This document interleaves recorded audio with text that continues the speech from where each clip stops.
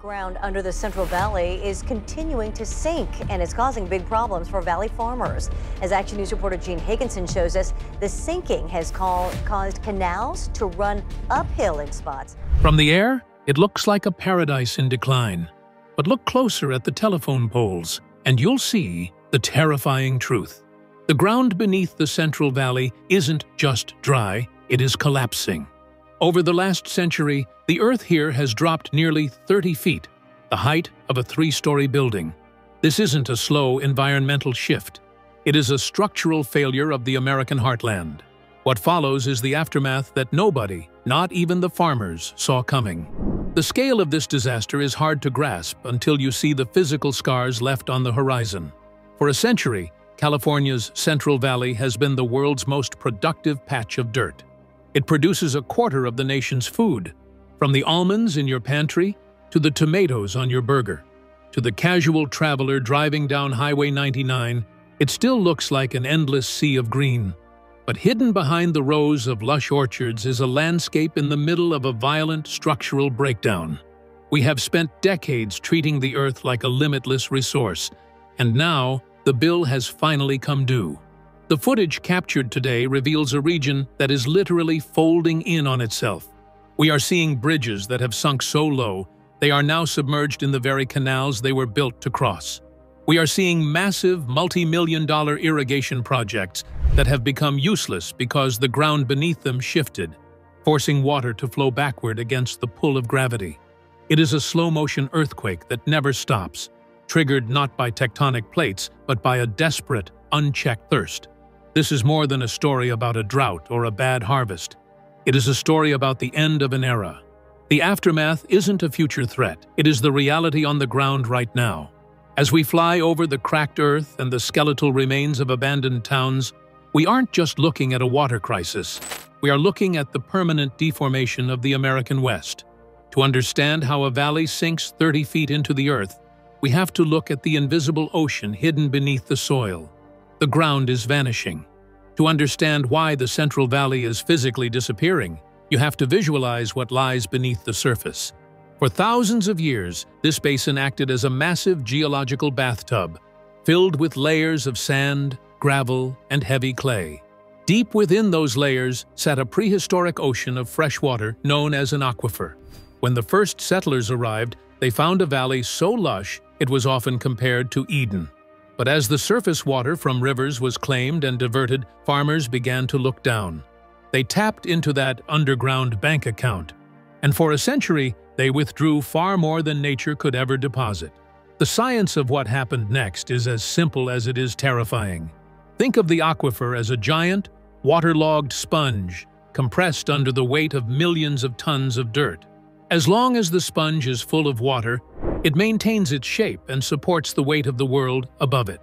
But when you pump that water out to the surface to keep almond trees green during a five-year drought, the pores of that sponge begin to empty. Without the internal pressure of the water to hold the soil grains apart, gravity takes over. The weight of the valley floor crushes those empty spaces flat. This process is called compaction, and it is a one-way street. Once the clay layers are crushed, the land loses its elasticity. In the scientific community, this is known as irreversible subsidence. You could have a winter of record-breaking floods, like the atmospheric rivers of recent years, and it wouldn't matter. The ground has lost its ability to soak that water back up. The underground storage locker has been destroyed. The earth doesn't just get dry, it becomes denser, harder, and lower. The actual footage from the valley floor captures the sheer scale of this collapse in a way that numbers on a page cannot. In places like El Nido and Mendota, the ground has dropped by more than 28 feet since the 20s. To the naked eye, it's hard to notice because it happens across such a vast area, but the evidence is everywhere once you know where to look. You see it in the protruding well casings, steel pipes that were once flush with the dirt but now stick tenaciously 10 or 15 feet into the air, as if the Earth has literally shrunk away from them. The most haunting aspect of this vanishing act is that it is silent. There are no tremors, no cracks in the sky, and no sudden sinkholes. It is a slow, methodical sagging of the American heartland. Since the mid-20th century, Parts of the valley have been sinking at a rate of nearly 2 inches per month during peak pumping seasons. That is fast enough to watch the horizon change over the course of a single human generation. We are now living in the era of the permanent low. The valley is no longer the height it was when our grandfathers farmed it. This isn't just an environmental footnote. It is a fundamental change in the geography of California. When the ground sinks, it changes the way everything moves from the wind patterns across the flatlands to the way water flows through the veins of the state's massive irrigation network. We have traded the very foundation of the valley for short-term survival. And now we are left standing on a floor that is still falling. But the disappearing ground is only the beginning of the wreckage, the architecture of ruin. When the Earth moves on a geological scale, the man-made world on top of it begins to tear itself apart. In California's Central Valley, we aren't just seeing cracks in the pavement. We are witnessing the systemic failure of the most complex water delivery system ever built by man. This is the architecture of ruin, a landscape where billion-dollar infrastructure projects are being rendered obsolete, not by age, but by the literal shifting of the horizon. The most glaring evidence of this aftermath can be found along the California Aqueduct. This massive concrete artery is designed to move water from the wet north to the dry south, using nothing but the subtle pull of gravity.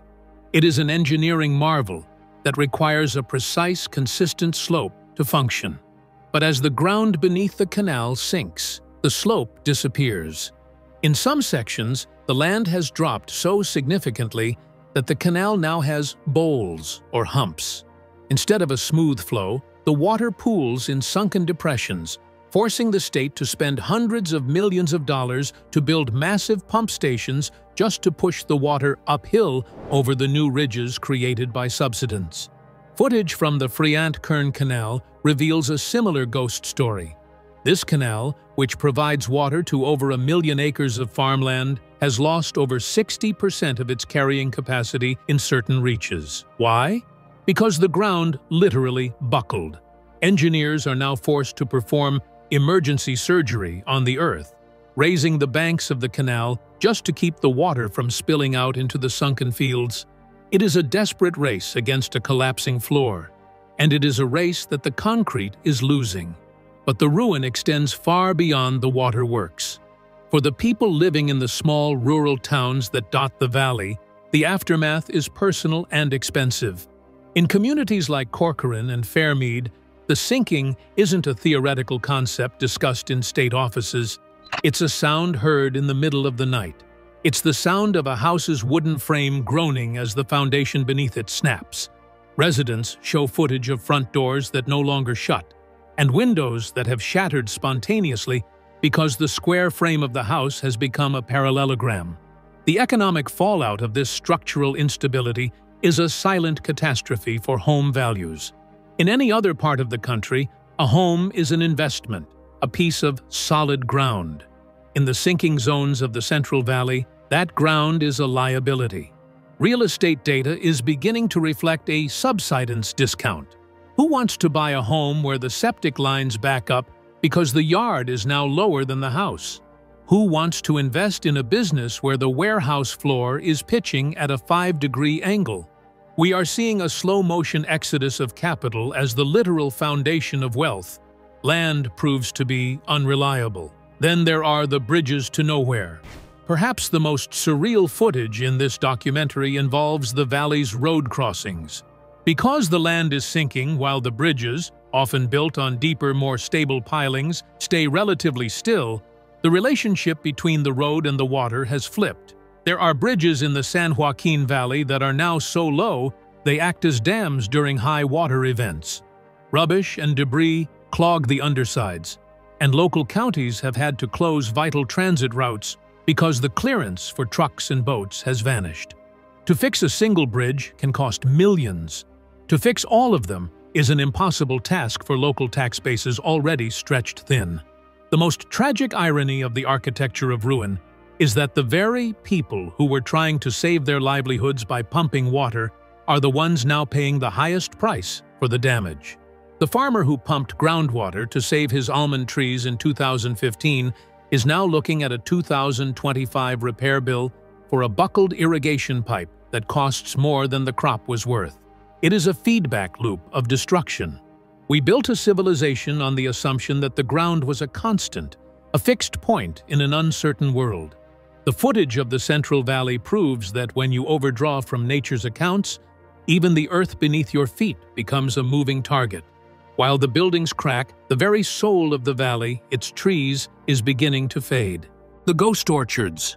For decades, the Central Valley was defined by its vibrant, aggressive green. It was a place where the dirt felt like magic. If you added water, you could grow anything. But today, actual footage of the region reveals a jarring new color palette, the gray and brittle brown of ghost orchards. These are the skeletal remains of what was once the most expensive real estate in agriculture.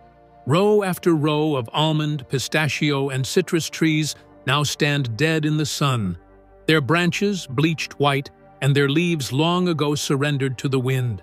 These aren't just dead plants, they are the monuments of a finished era. The cause of this mass die-off is a combination of nature's limits and human intervention. In 2014, California passed the Sustainable Groundwater Management Act, or SGMA. For the first time in the state's history, there was a speed limit placed on how much water farmers could pump from the ground. The goal was to stop the sinking, but the aftermath was an economic shockwave. Without the ability to pump unlimited water during dry years, thousands of farmers were forced to make a Sophie's choice. Which half of their farm should they let die so the other half can live? The footage shows the results of that choice. We see fallowed land stretching to the horizon, fields that have been intentionally abandoned because there simply isn't enough water to go around. It is estimated that by 2040, at least 500,000 to 1 million acres of farmland in the Central Valley will have to be retired permanently. To put that in perspective, that is an area larger than the state of Rhode Island being wiped off the agricultural map. This is the unexpected aftermath of sustainability. While the law may eventually stop the valley from sinking, it is doing so by dismantling the very industry that built it. The human cost of these ghost orchards is found in the small tractor towns that act as the valley's heartbeat. When an orchard dies, the ecosystem around it collapses. The packing houses go quiet, the tractor dealerships board up their windows, the local schools lose students as families move away in search of work in the coastal cities. In towns like Mendota and Huron, the footage captures a sense of mourning. These are communities built on the promise of the soil, and they are watching that promise evaporate. For a fourth-generation farmer, watching your trees die isn't just a financial loss. It's the erasure of your family's legacy. There is a specific kind of silence in a ghost orchard, in a healthy grove, you hear the hum of bees, the rustle of leaves, and the hiss of irrigation lines. In the aftermath, you hear only the sound of wood cracking under its own weight. Many of these trees are pushed, bulldozed into massive piles and burned because it is cheaper than trying to keep them alive. The smoke from these orchard funerals often fills the valley air, a bitter reminder of the region's shrinking footprint.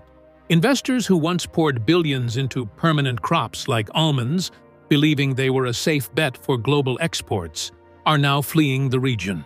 The footage shows vast stretches of land being converted into something entirely different. Solar farms. Black glass panels are replacing the green canopy. While solar energy is a win for the climate, it provides almost no jobs for the local community compared to an active farm.